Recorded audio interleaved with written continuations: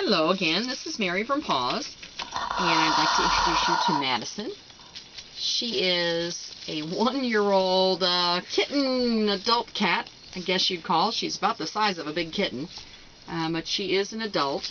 Um, she came to us with a litter of kittens from the Oklahoma City shelter not too long ago.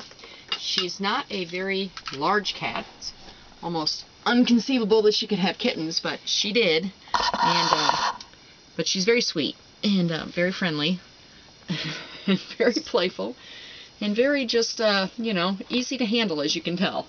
Um, she likes still likes to play. Let's get this ball going again, Tucker. She likes that ball there. she also likes feathers.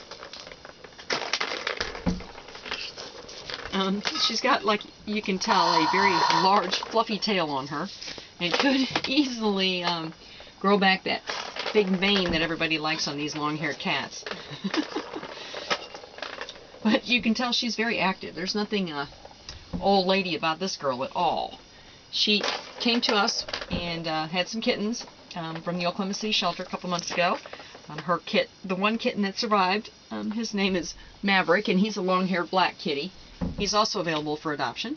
Um, but he's been weaned now, and she's been spayed. Hi, sweetie. And uh, she's ready to find her new home.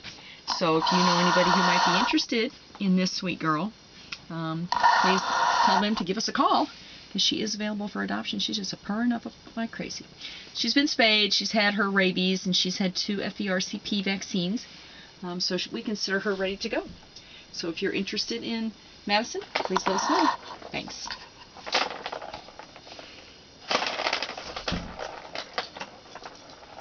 There's a big there too.